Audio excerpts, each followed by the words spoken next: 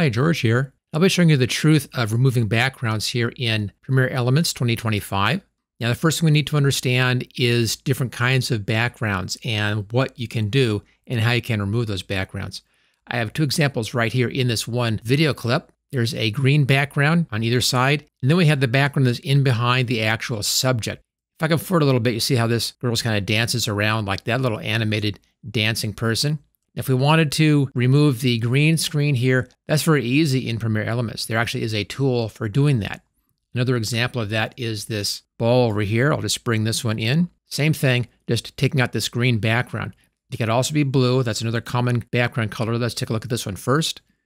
Over here, right-hand side where it says FX. And let's change this to video effects. And the one you want in here is keying. This is the keying section.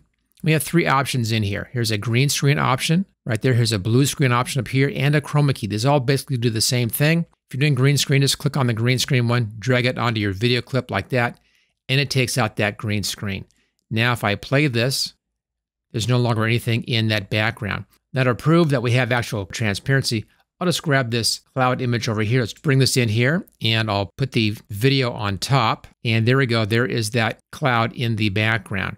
Notice that you can see through the ball a little bit here. You can adjust that. That's coming over here in the threshold and cutoff sections. I try working with both of these.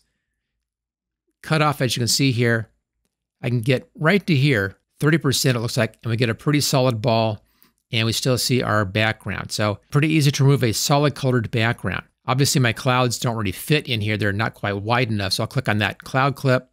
Let's go up in here to scale, and I can then drag the sides out and make this a bit larger, just scale up like that, or use the scale control right here. Okay, that now fits properly. Now, if we go back over here to this clip, we can do the exact same thing for these two areas in here. Just use that green screen and remove that and get that clear. It's not difficult to do. I'll just drag this up to the next video line like that. Let's just extend our sky out in behind and pull it over here a little bit. There we go. Same thing, we just go back over here to the FX, video effects, and keying and green screen and then drop it onto the video clip that's the top one right there. And that then takes out that green. Again, same problem here. We're kind of seeing through a little bit. Just come down here to the cutoff and try adjusting the cutoff just a little bit. You can just click over here and just drag over that and try to get that bit better. Looks like right about here, right about 29% is good on that one. Again, pretty easy to do that kind of a background removal, taking out solid color areas. Now, another way to do that is if we had an area that was a natural color, and I have one right down here. I'll bring this fish video down. We have the nice blue in the background. Now, this is taken in an aquarium, and there is a blue background on the aquarium. You can try to get rid of this kind of stuff, but you can have some problems where you have the edges kind of blurring into that background. It can cause some issues. So in this, I could either try doing this with the blue screen removal or with chroma key. Let's take a look at that. Back over here to effects. Let's go back up here to video effects and keying. Again, blue screen X, just like the green screen did. If we go to chroma key, I drag this one onto that video track. Take our color sampler right here. Grab the eyedropper tool and then drop into that blue area. So we're now choosing that blue as the color that we want to key off of. And it removes a lot of that as you can see in here. Now it's leaving a lot still. So I have to come in here and right down here where it says similarity. Just drag this slider up and you can begin to pull that out. Now notice I'm getting a halo in here around that. And if I go too high up here, I begin to lose the tail. And that's because those colors are similar to that blue. So we can kind of do an okay job in here, but not a great job. Let's look at our blend. Sometimes by coming in here and just playing with these things, kind of tweaking them, you can get a better result. To try threshold a little bit. So I'm just trying things out and seeing what we get. Threshold's not giving me anything that's useful in our similarity. So I can get a pretty good job back in here. And if I was replacing this with a more interesting blue image, that halo probably would drop away. So if I had underwater scene with some blue in the background, other fish and so forth, I could probably get away with that on this one. So you can come in here and do this kind of chroma keying effect pretty easily if you have large solid color areas. That's kind of thing that you can do well here inside of Premiere Elements. Now the difficult thing is on something like this. Can't do a green screen here. There's no green. I can't do a blue screen. I would just lose her shorts. I can't come in here and color key because a lot of the colors in here are the same as the colors in the shirt. So that's not going to work. I've tried a bunch of different inexpensive online tools for doing this, and I haven't found anything that does a good job with video. The best I found was with Filmora, and that does a reasonably good job, but you have to clean that up. The cleanup was with using just a paintbrush and eraser tools and can be real time consuming and picky. So I haven't found a good automated way to do this. But there is a way to get a nice clean mask and remove this background, and you can do that with the tools that I believe you already have. Almost everybody who has Premiere Elements also has Photoshop Elements, and we can do this in Photoshop Elements, but it has to be done on a frame by frame basis. You can't do it as an automated process over a bunch of frames. It's going to have to be frame by frame, and that can take you a long time. Now, this video in here, this clip in here is about a minute and a half long. So if the whole video was something which I wanted, then that's going to be a lot of frames. 30 frames per second at a minute and a half. That's just a whole lot of frames in here. So I would first want to come in here, find the spot I wanted to use, maybe this little running section right in here. That little bit right there.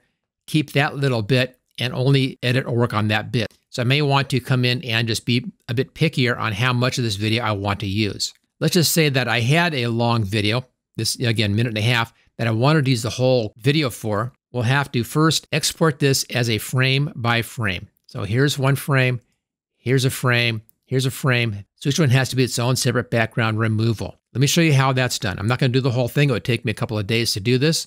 So I'll just talk you through it so you'll see the process. Just bring this back a little bit like that. And I'll get rid of this fish section in here. We don't need that. Take out the countdown video right there. And I'll squeeze down my frame. So this is just the video section. Let's take a look at our actual frame count in here. 1 minute, 40 seconds, and 14 frames. So that's a lot of video. Now, the way you do this is you go up here to the export and share. In here, where you have format, you have all of your video formats up here. This is where you would normally be exporting something as a video format. But you also can export this in different still image formats, such as a bitmap or a GIF or a JPEG right down here. The one I chose was a PNG format right there. It's a good format to use. And I have it going into my video saves folder right there that I set up on my computer. If I export this, it's going to be exporting every single one of the frames in this project. Right down here, you can see where it says source 30 frames per second. Right down here, 1 minute, 40 seconds, and 15 frames. So click on export.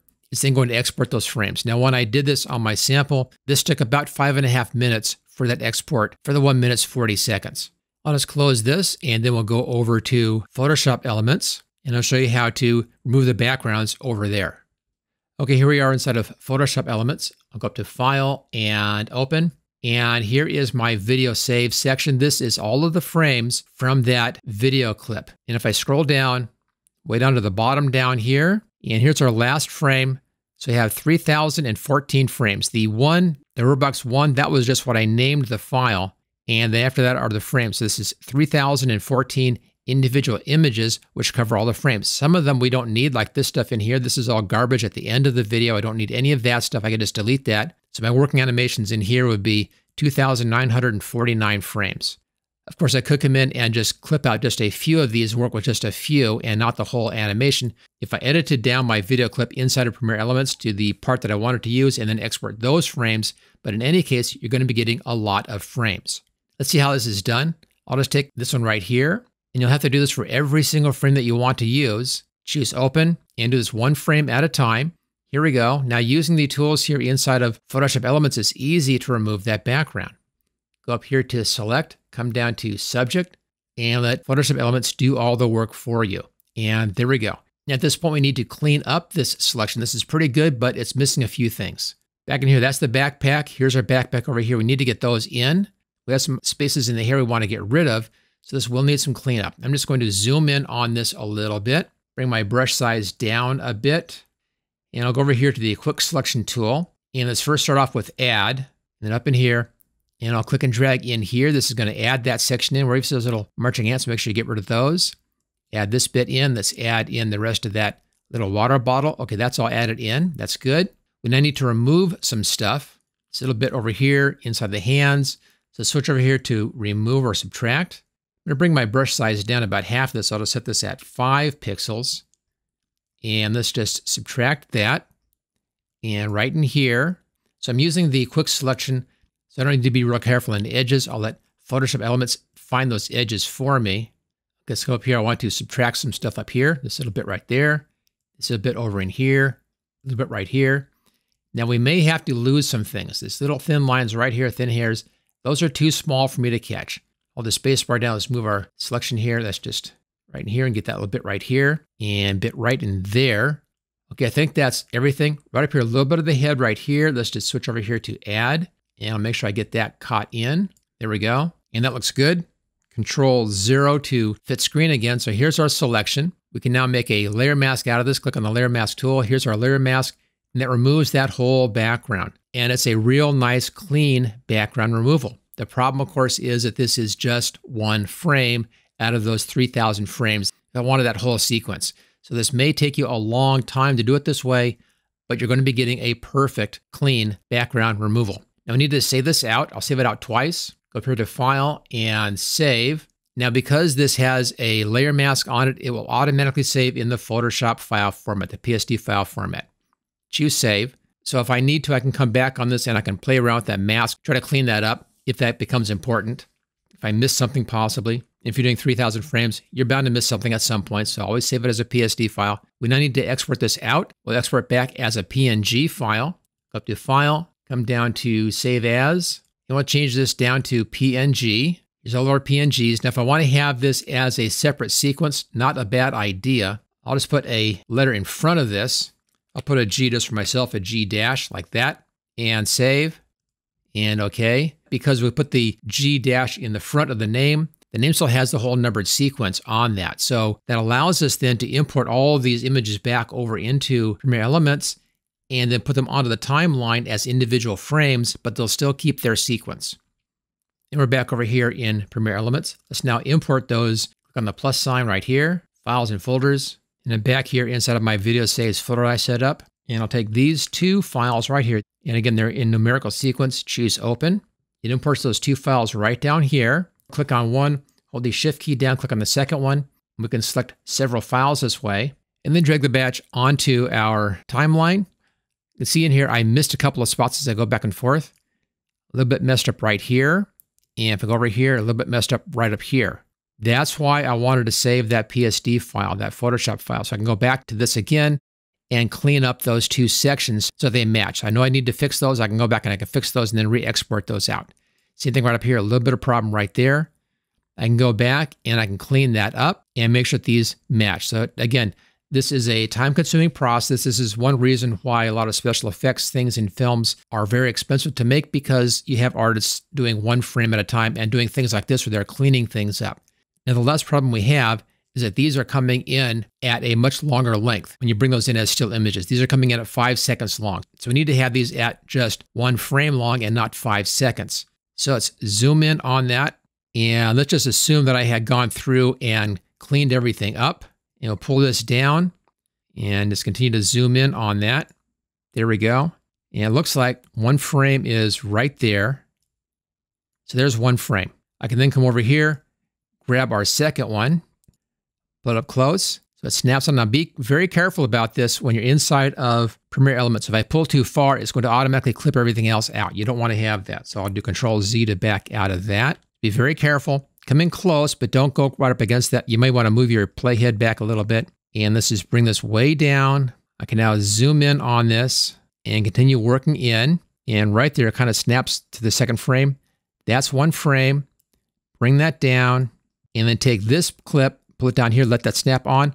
So I now have two frames of my new animation right here. Fast forward and fast back. There's our two frames.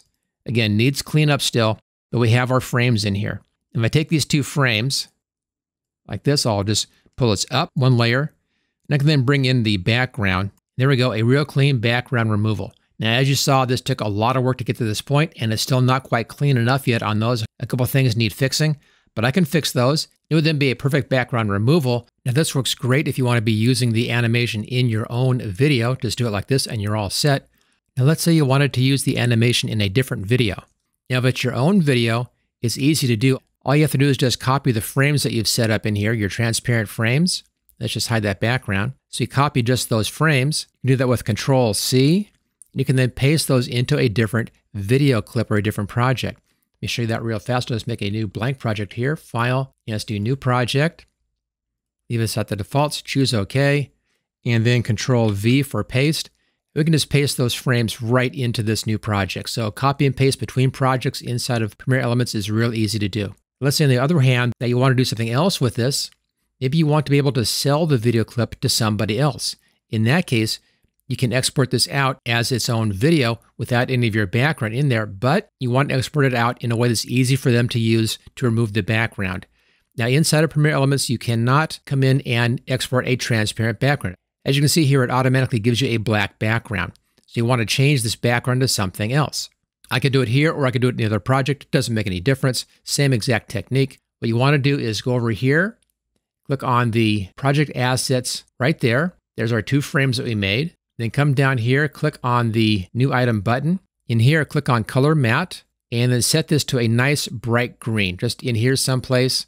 Come down, choose your bottom right corner. And if you see this little pop-up window right here, just click on that. It makes a slight adjustment to your color, and this then is easy to use for anybody else. You just want a nice bright green behind that. Choose OK. Give it a name if you want to. It then gives you a solid background color. So I can just scroll back over here. Comes in also on the same video track as you can see here. So the easy way to handle this is to right click on this and let's add a track. And I want to put the track below the first track, before first track, choose OK. That moves everything here to the second track. We can then grab that green, pull it down, and reposition it. And we now have green screen behind our animation. Of course, we only have just those two frames in here, but if I had done more frames, we would then have our animation on top of this green screen. And then simply export this out as a regular video clip. That's export and share. The standard format is H.264. And on the source in here, I personally just set this to a high quality 1080p. This happens to be what this was recorded in originally. Do that. And then it's all set to easily sell to somebody else or just put up on one of the sharing sets if you want to and share it out for free. And then just choose export, well, then export that video clip out. So real easy, as you can see here, to not only remove the background for your own use, but also you can replace the background with a green screen and then either share or sell this video clip for others to use on their own projects. If you want to learn more about how to use Premiere Elements, I have a whole training course for this. It shows you how to do everything, how to use the timeline, how to use your main view window in here, how to use the quick, guided, and advanced modes across the top up here, to use all of your panels, all of your tools, everything, everything on the menus. The whole program is explained to you in easy to understand terms. The link for that is going to be at the top of the description. Now, if you enjoyed this video, make sure you hit that thumbs up and give me a like. Also, make sure you subscribe. I'll be doing more great Premiere Elements videos coming up, and I'll see you next time.